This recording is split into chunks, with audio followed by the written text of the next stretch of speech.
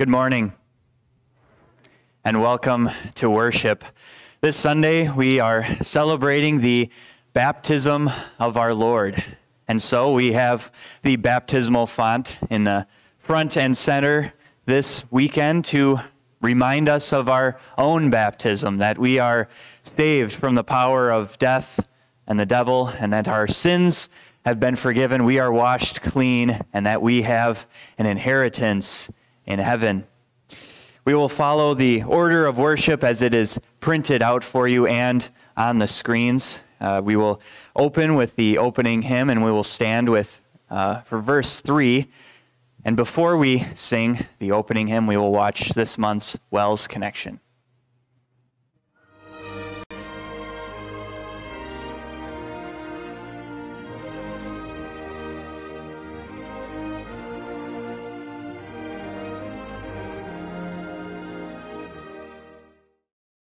Hi, I'm WELS President Mark Schroeder. As we enter a new year, it's only natural to reflect on the previous one and to thank God for the amazing blessings He gave us.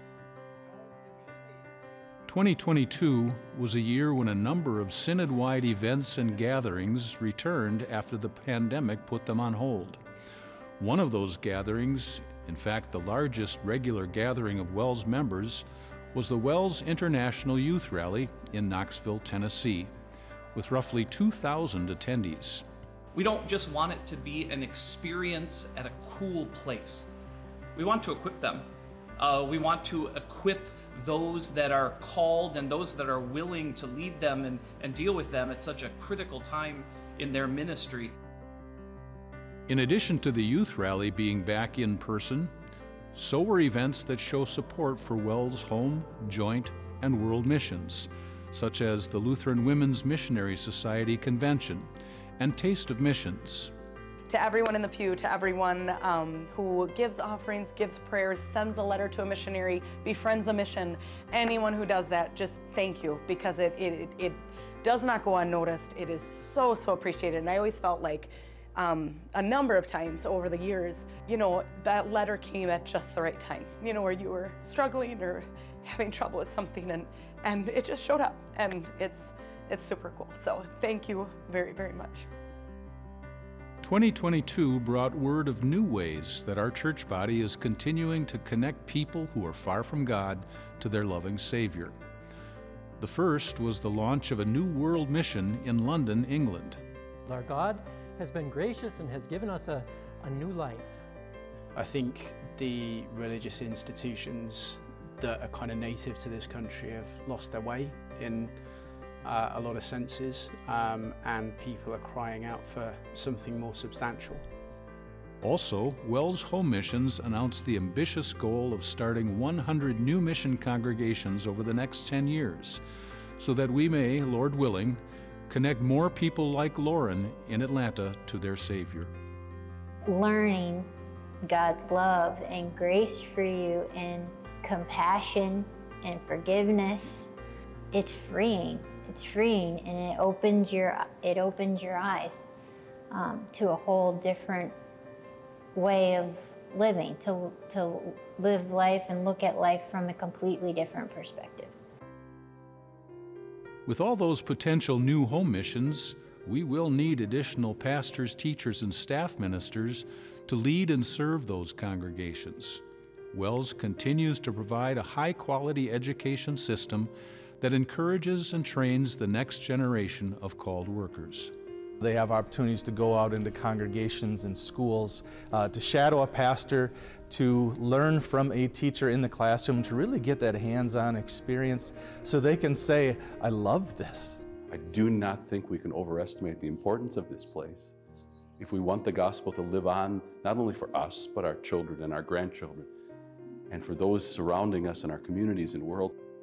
As local churches serve their communities with the gospel of Christ, WELS Congregational Services continues to provide resources so they can faithfully conduct their ministry. Without having that understanding myself from personal experience to know what it's like to be in the military and, and what are the best ways that we can serve them, I think that's just helpful to have those resources and, you know, I don't have to figure it out myself.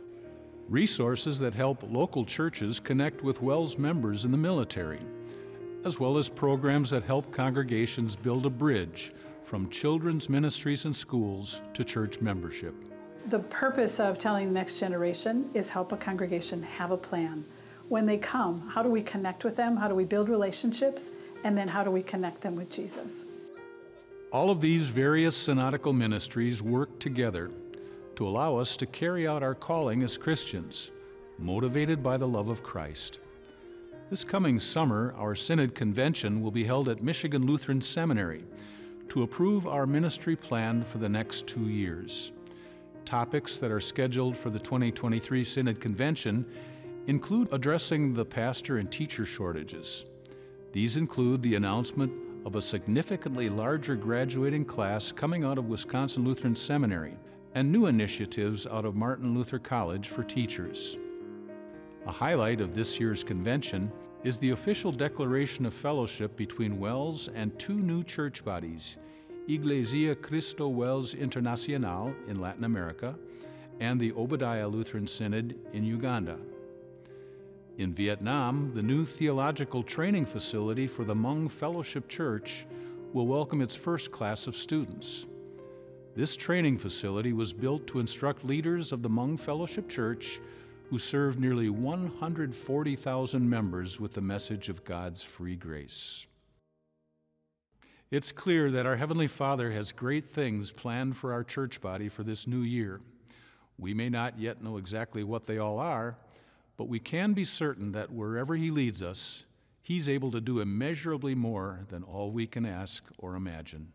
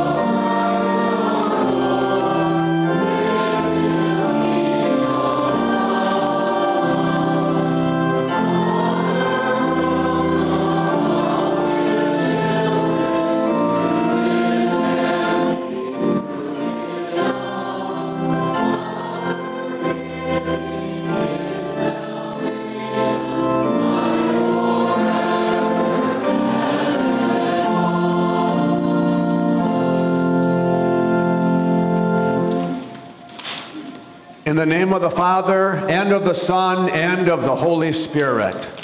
If we claim to be without sin, we deceive ourselves, and the truth is not in us.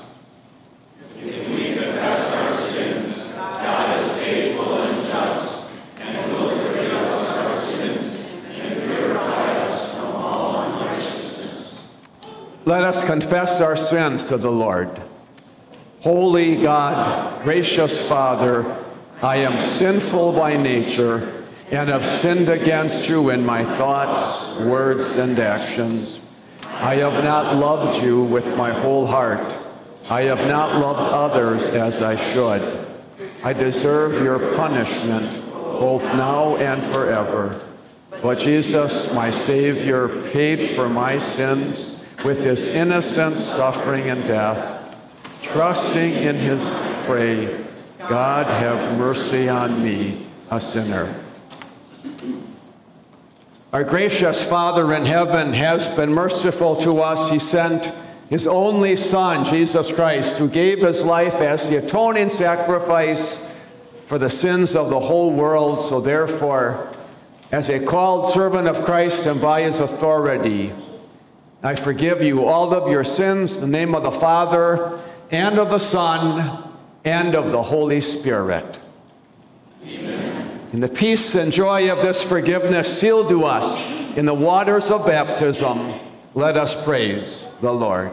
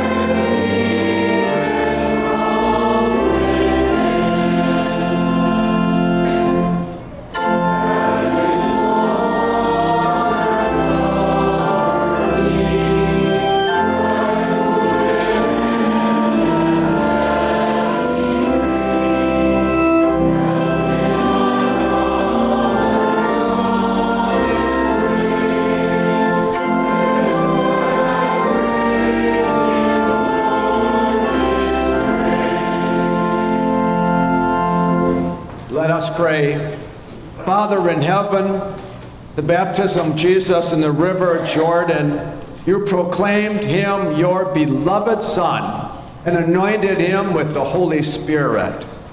Keep us who are baptized into Christ faithful in our calling as your children and make us heirs with him of everlasting life. Through your Son, Jesus Christ our Lord, who lives and reigns with you and the Holy Spirit, one God, now and forever. Amen. May be seated.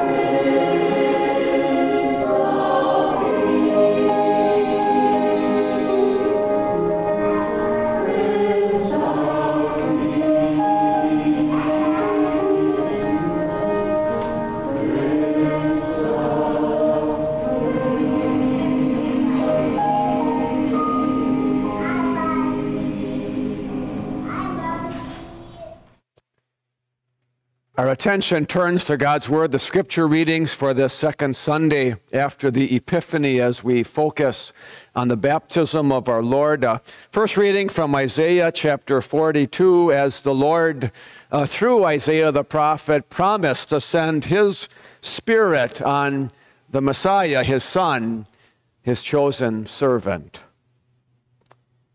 Here is my servant, whom I uphold, my chosen one, in whom I delight. I am placing my spirit on him. He will announce a just verdict for the nations. He will not cry out. He will not raise his voice. He will not make his voice heard in the street.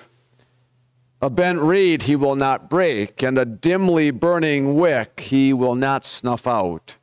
He will faithfully bring forth a just verdict. He will not burn out and he will not be broken until he establishes justice on the earth. The coastlands will wait for his law. This is what the true God says.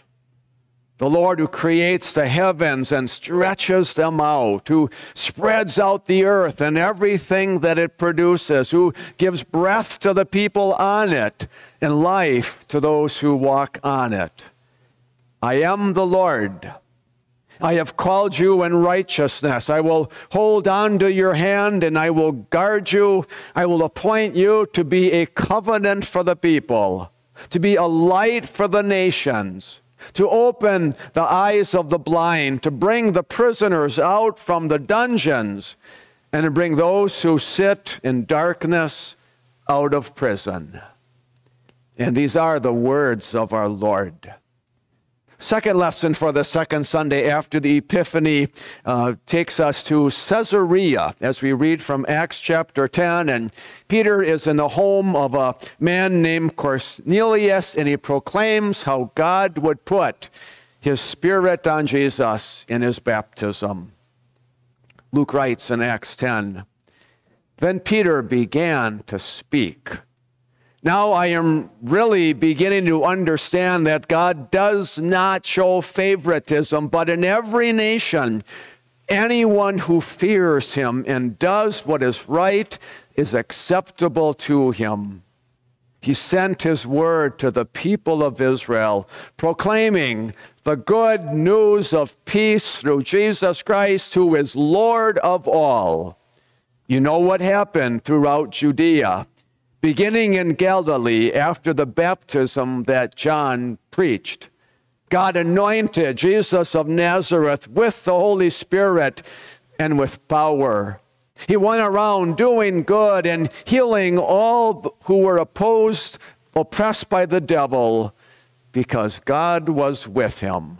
And these also are the words of our Lord. I invite you to rise and stand. First of all, we hear the gospel acclamation from 1 John 2, it's verse 2. Alleluia.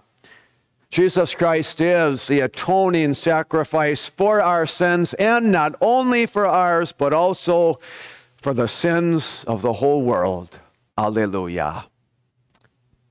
Gospel lesson for this morning, also the basis for the vicar's message from Matthew chapter 3, Matthew's account of Jesus' baptism. So we, then Jesus came from Galilee to be baptized by John at the Jordan. But John tried to stop him, saying, I need to be baptized by you, and yet you come to me? But Jesus answered him, Let it be so now, because it is proper for us to fulfill all righteousness. Then John led him after Jesus was baptized, he immediately went up out of the water. Suddenly, the heavens were opened for him. He saw the Spirit of God descending like a dove and landing on him. And a voice out of the heavens said, This is my Son, whom I love. I am well pleased with him. And this is the gospel of the Lord. You may be seated in a moment and we join together in the hymn of the day, hymn 377. We would first invite to the front the younger children for their special message.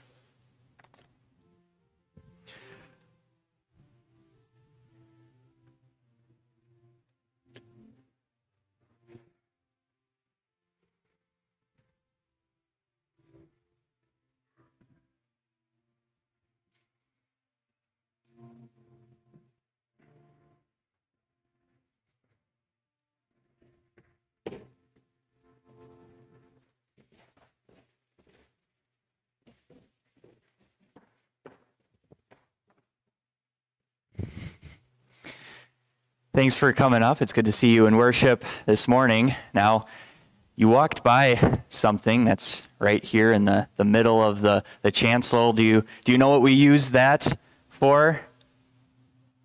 Yeah, to baptize. It's called a, a baptismal font, and you can, you can take off the lid, and there's, there's a bowl in there that you can put some water in, and you just use, just use plain water. And then you can take that water and pour it on the head of a, a little baby or an adult and baptize them in the name of the Father and of the Son and of the Holy Spirit. And that is baptism. Well, this morning we are celebrating a baptism the baptism of our Lord Jesus Christ. And he had a pretty spectacular baptism. Heaven was opened for him, and the Spirit of God descended on him in the form of a dove. And God the Father then spoke from heaven, saying, This is my Son, whom I love. With him I am well pleased. And I don't know about you, but my baptism wasn't as spectacular as Jesus' baptism. Heaven wasn't open for me. God didn't speak from heaven. But there still was a, a miracle that happened at our baptism. Because we all need baptism, because we're all born in sin. We have a sinful nature that wants to do things that are naughty. And well, when the water is applied with the word of God, it washes away all of our sin. And so we don't have the, the filthy, filthy rags of, of sin, but instead we have a bright white robe of, of Christ's righteousness because of what Christ has done for us, how he suffered and died and rose again to save us from our sins. And so God looks at you and says the exact same thing that he said to Jesus This is my son or daughter with you I am well pleased. And so remember that God is well pleased with you and that all of your sins are washed away. Let's fold our hands and pray to Jesus. Dear Jesus, thank you for the gift of baptism. It washes away all of our sin, and we no longer have the filthy rags of sin, but the bright white robes of your righteousness. Help us to remember that our sins are washed away. In Jesus' name we pray. Amen.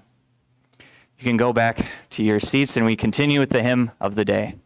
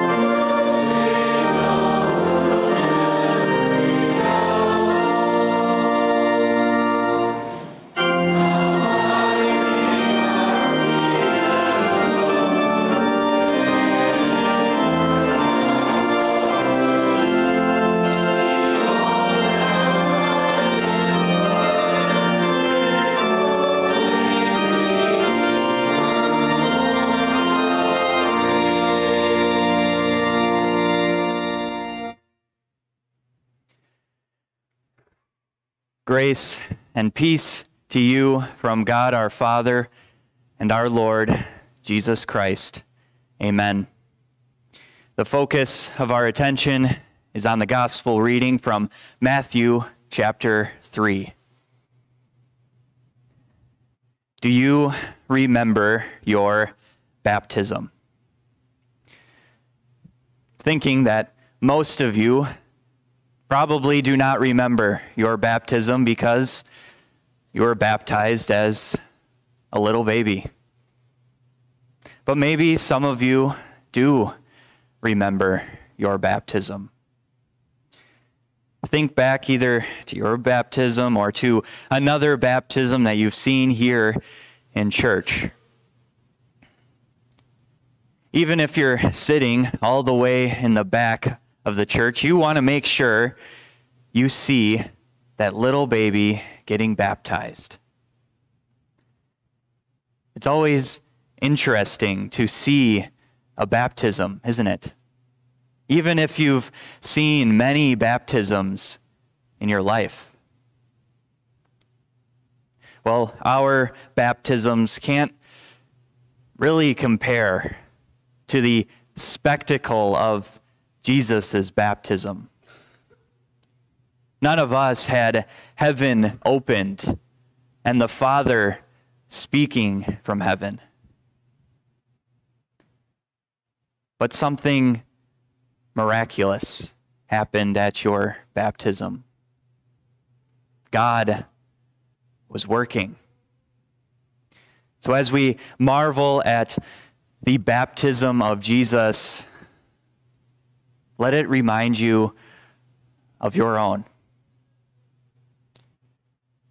Scripture doesn't give us a lot of detail about the, the young life of Jesus. We have a, a few snippets, like when the wise men came and worshiped the baby Jesus, or when Jesus and his family fled to Egypt to get away from King Herod or a 12 year old Jesus teaching the Jewish leaders in the temple. Outside of those few instances, we don't really know too much about the young life of Jesus. And maybe that's very fitting because nobody really knew who Jesus was outside of his hometown of Nazareth before he, he left his home region of Galilee to find his cousin John by the Jordan.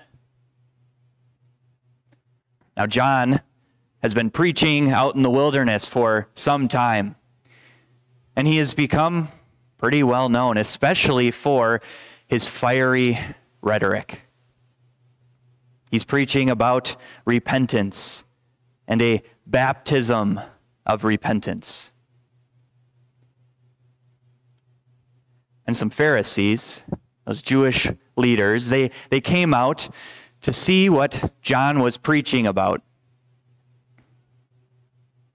And John refused to baptize those Jewish leaders because they did not show that they were repentant of the sins that they had committed. And now Jesus finds John on the banks of the Jordan River. And John is a little confused. John knows that Jesus is not coming there to get a baptism of repentance because he has no sin to repent of. And so he asks a question that maybe all of us would ask when we read this account of Jesus' life. Why is Jesus coming to be baptized? And that's shown in John's question that he asks Jesus, I need to be baptized by you, and yet you come to me? And of course, Jesus has the perfect answer for this question.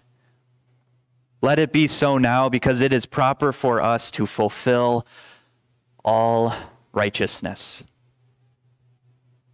Again, Jesus did not come there to receive a baptism of repentance.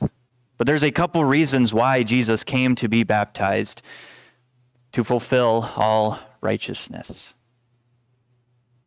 First, this acted as the anointing of Jesus. Maybe you can remember back to your Old Testament Bible history and know, and you know that the kings, the priests, the prophets were all anointed with oil. Maybe you can think of the story of, of Samuel going to Jesse to anoint David to be the next king of Israel. He poured oil on the head of David to mark him as the next king of Israel. Or you can think of the book of Judges when God would raise up a deliverer for his people. It says that the Spirit of God came on that person and then that person was able to lead God's people and to do miraculous things. Well, the Spirit of God came on Jesus in the form of a dove. And he was anointed as our prophet, priest, and king. Jesus is our prophet because he tells us the, the good news of the gospel in his word. Jesus is our priest. He offers himself up as the perfect sacrifice for sin. And Jesus is our king. He rules in our hearts and he rules over the events of history. This is why you may hear Jesus called the Christ or the Messiah. And Christ isn't some sort of last name for Jesus, it's a title. Both Christ in Greek and Messiah in Hebrew mean the anointed one.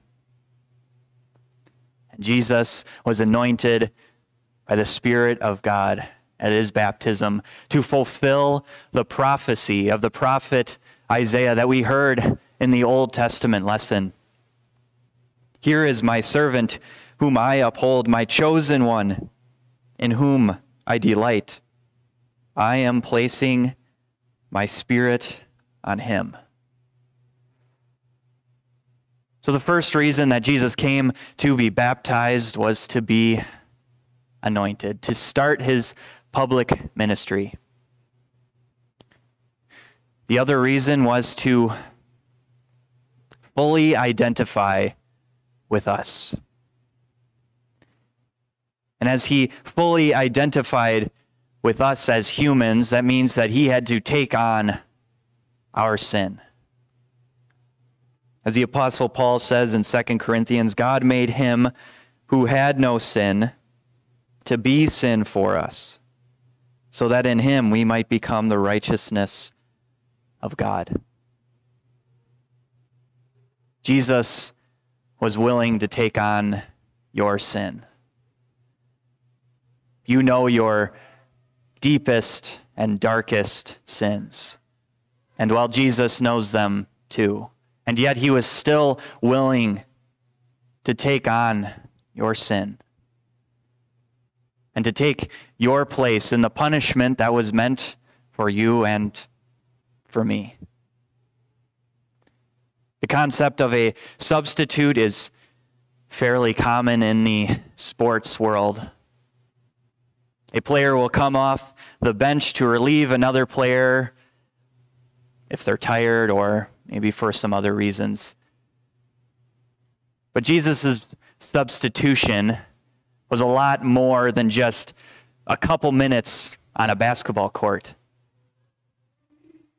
It was more like you were standing in a courtroom and before the judge, and the judge was ready to declare you guilty of all the sins that you have committed in your life. And then Jesus barges in to the courtroom and says that all of your sin are his He didn't do anything wrong. But he took your sin upon himself. The punishment that was meant for you, he endured that on the cross. He endured hell itself when he was se- separated from God. Jesus was also our substitute in fulfilling the law. Because we can't obey the commands of God. We can't even we can't even keep one of his commands.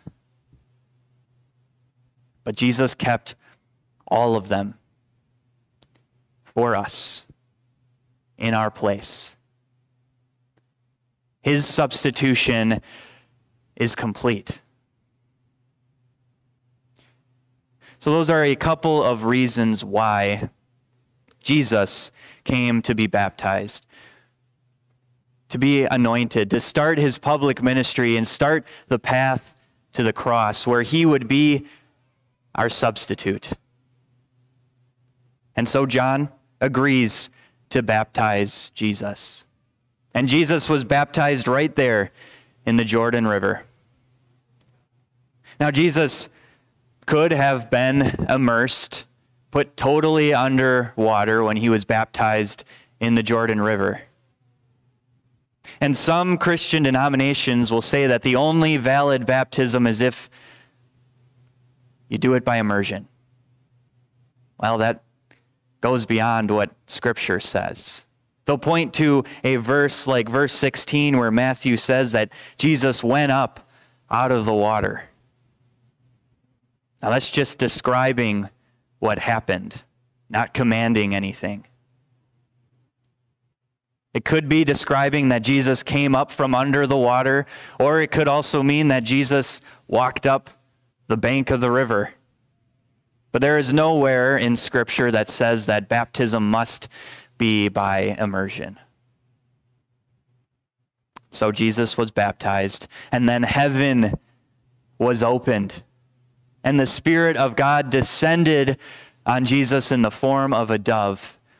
And God the Father spoke from heaven to confirm that Jesus is the promised Messiah, the anointed one.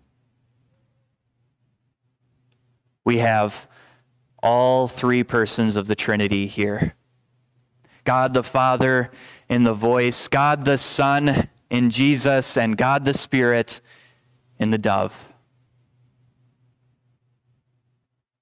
Jesus' baptism truly was a spectacular event. To be there on the shores of the Jordan River to see it. And our baptisms can't visually compare to Jesus' baptism. But a miracle was worked in all of our baptisms. Because we all need baptism.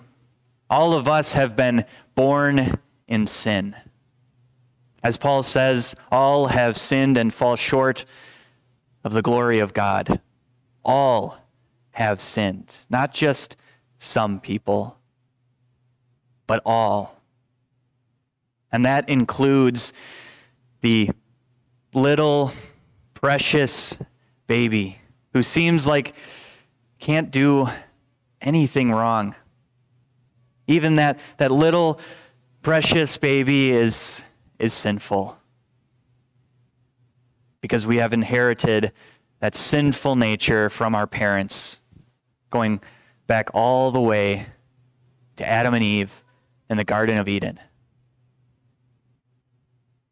Baptism washes away all of that sin and that is a miracle. Baptism doesn't get its miraculous power from the water that is used. Jesus was baptized in the Jordan River.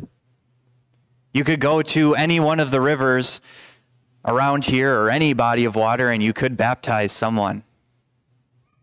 It's not the water that gives baptism its power but the Word, the Word of God used with that water.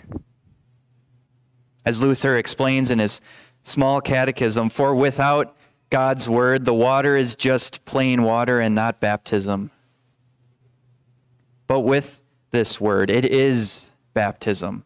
That is a gracious water of life and a washing of rebirth by the Holy Spirit. The power is in God working through His Word. The power is not in the water or even in the pastor who administers a baptism. Baptism is powerful. And so there are many blessings that come from baptism. One blessing is that it saves. Baptism does truly save us from the power of the devil and from death. Paul, writing to a young pastor named Titus, says that he saved us through the washing of rebirth and renewal by the Holy Spirit. The washing of rebirth and renewal is baptism. Baptism makes us born again by the Spirit. The Spirit works and strengthens faith in our heart, and we are saved by faith. Another blessing from baptism is the forgiveness of sins. And baptism offers a, a great picture of the forgiveness of sins. Say you are working outside, maybe you're working in your garden or some other project around your house, and you're digging around in the dirt. Most likely your hands are going to get dirty. And so, what do you do when you're done with that work outside? Well, you, you wash your hands because you don't want that dirt getting everywhere. Sin has made us dirty. Sin is compared to filthy rags. And baptism washes away all that dirty sin, it cleanses us. You can remind yourself of your baptism that you no longer wear the, the filthy rags of sin, but instead you have a, a bright, white robe of, of Christ's righteousness. Do as, as Luther says to daily drown your sinful nature, daily remind yourself of your baptism, that you are a baptized child of God. Any final blessing that comes from baptism is the reward. The reward of eternal salvation. When you were born, you became a new family of your, a new member of your family here on earth. And in your baptism, you were born again by the Spirit, and you became a new member of the family of God. God adopted you into his family. A professor at SEM would always explain baptism in this way. At your baptism, you receive your true last name or family name. So, for example, my full name is Caleb Paul Gustafson Christian. We are all part of the, the family of God. And since we are children of God, we will receive an inheritance, the inheritance of heaven, where we will spend an eternity with our true family, the family of God. Every time we witness a baptism, we are seeing something truly special. God is working there. And no, it may not visually compare to Jesus' baptism, but that child or adult is becoming a, a dear child of God. Remind yourself of your baptism, that you are saved from the power of the devil and from death. Your sins are forgiven, you are washed clean, and you have an inheritance in heaven. When you read the baptism of Jesus, let it remind you of your own. Even if you can't remember the exact event, you still are baptized. Continue to live in your baptismal grace all the days of your life. Amen. Please stand. And now may the peace of God, which surpasses all understanding, guard and keep your hearts through faith in Christ Jesus. Amen. We confess our faith using the words of the Apostles' Creed. I believe in God, the Father Almighty, maker of heaven and earth. I believe in Jesus Christ, his only Son, our Lord, who was conceived by the Holy Spirit born of the Virgin Mary, suffered under Pontius Pilate, was crucified, died, and was buried. He descended into hell. The third day he rose again from the dead. He ascended into heaven and is seated at the right hand of God the Father Almighty. From there he will come to judge the living and the dead. I believe in the Holy Spirit, the holy Christian church, the communion of saints, the forgiveness of sins, the resurrection of the body, and the life everlasting. Amen. You may be seated, and as the offering is gathered, please sign the friendship register and pass it down.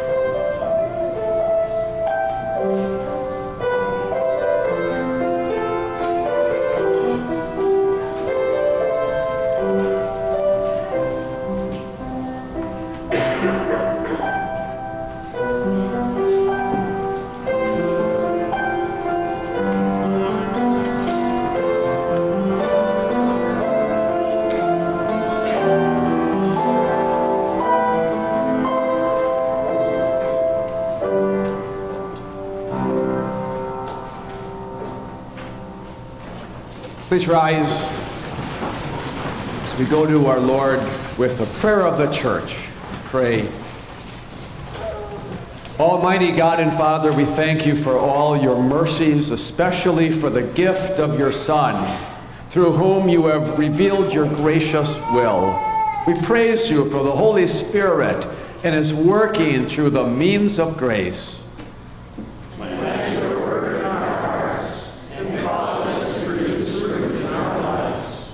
Strengthen and defend your church, that by your word and sacraments faith may grow and love toward all may increase.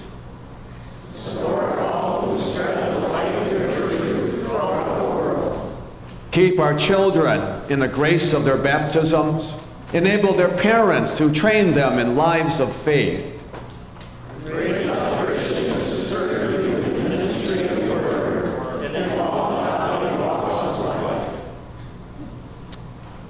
Preserve our nation to injustice and honor. Guide and bless all who make, administer, and judge our laws.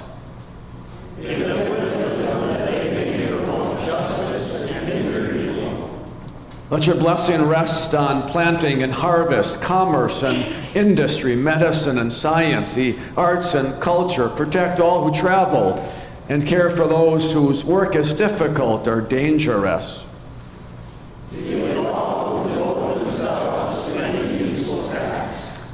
Merciful Lord and Savior, you have promised to be with your believers everywhere and in all circumstances of life. May the assurance of your abiding presence and your loving care comfort and sustain Amanda, daughter of Jim and Mindy Branning, as she faces and undergoes treatment and medical care. Remove anxiety and fear from her heart and, and lead her to have all confidence and trust in you. We also commit all who are sick and suffering to your tender care. We especially pray for Ron Blazinski, uh, Bonnie Zank, Brianna Rux, and, and Rosie Swan.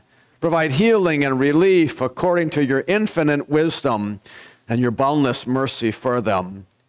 We join Jim and Kaylee Eldenberger in giving you thanks as they celebrate their 25th wedding anniversary. By your grace, they have come this far, and, and by your grace, they move forward together, sustain and defend them through all the trials and temptations of life. May they and all married couples find comfort in your presence, strength through your promises, and perseverance because of your faithfulness. Grant us these things, Father, for the sake of Jesus, who died and rose again. And now we join together in our Lord's Prayer. Our Father in heaven, hallowed be your name. Your kingdom come, your will be done on earth as in heaven. Give us today our daily bread. Forgive us our sins as we forgive those who sin against us. Lead us not into temptation, but deliver us from evil. For the kingdom, the power, and the glory are yours now and forever. Amen.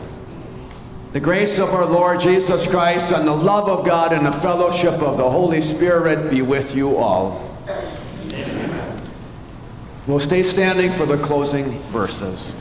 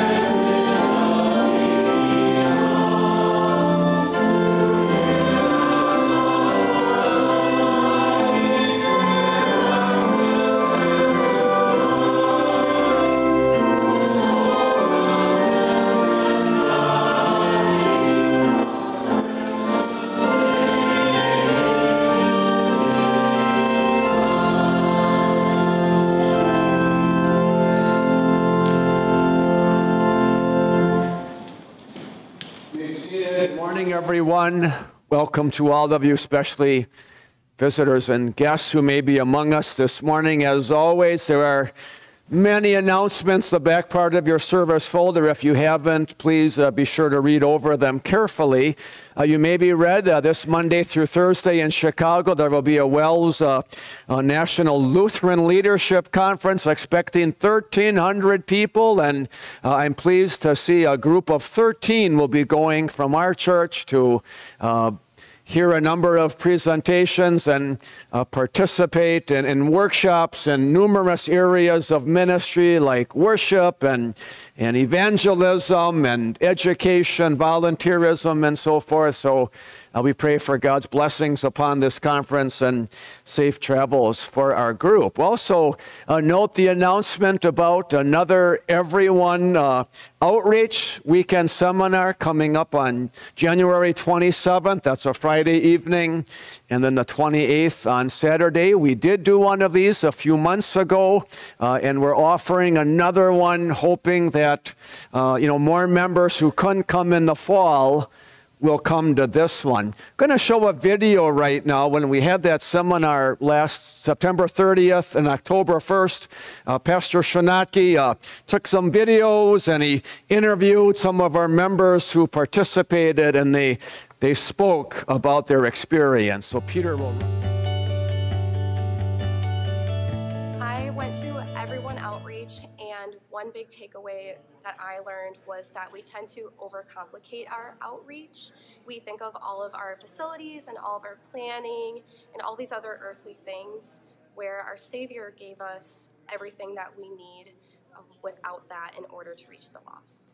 Uh, and how about the accountability? What pronoun do you see there again and again? I. Not you, not them. I became all things to all men. And one of the things I really appreciated from the Everyone Outreach seminar that we did was that our, we recognize that our church is really doing a lot of outreach already. And if we can open our minds and have a different mindset of focusing on the Word, what we're saying as believers, and then how we're reaching the lost, I think we'll continue to do well as our church moves forward. When you think about outreach ideas at St. Peter, what has often been the response? Did he enjoy those changes? Didn't tell us that, right? But he's willing to make the change for the sake of the gospel. I think we would say that's a worthy, worthy result, right, for change. It's, it can be simple. It doesn't have to be hard. We just got to maybe get out of our comfort zone a little bit. You become like a Jew to win the Jews. Yeah, there's a lot of um, outreach in our church that I'm not aware of and that we can become more involved in. Um, it's an exciting experience to be able to reach out to people and to get involved in these. And we learned about them, and it's a very um, fun seminar and opened up a lot of avenues for me to look into. I need to get together with the community and I need to get together with the community game night. So I'm starting one up, and so it's going to be for everyone here and invite neighbors, and we're going to just try to get as many people around. We're going to have a fun time. We're going to bring families together. Uh, we'll have adults playing together. We'll have kids playing together. It'll be it'll be good good time.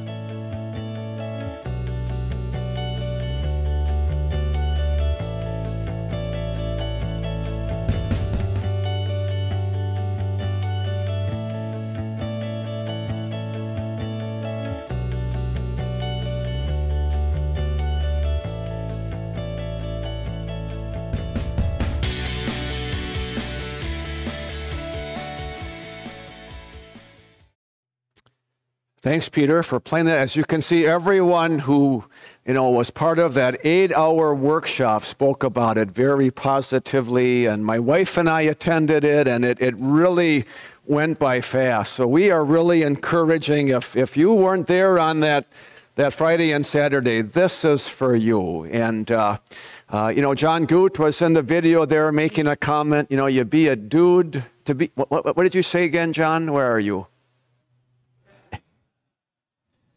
He was kind of, uh, I think, translating the Apostle Paul being all things to all people. And, you know, to the dudes, you become a dude. So you can ask him about that at donut hour. So, uh, questionable translation for sure. Um, But really I want to encourage you to please uh, attend that workshop. As, as, you're, as you're leaving now, the ushers are going to have uh, inserts in their hands. And if, if you're fired up to come, or if you're thinking maybe you're going to come, please take one of these. And on the back, uh, we do need to firm up how many will be there. Our Synod is willing to send one or even two more facilitators for the weekend, but we need to let them know, you know, how many from our, our group will be there. So uh, if you're able to come, thinking about coming, uh, if you didn't come back in the fall, I'm personally inviting, urging each one of you to please participate in everyone outreach. Grab an insert on your way out. So, uh, those are the announcements for this morning. Uh, God bless all of you. Take a moment right now to greet someone sitting around you.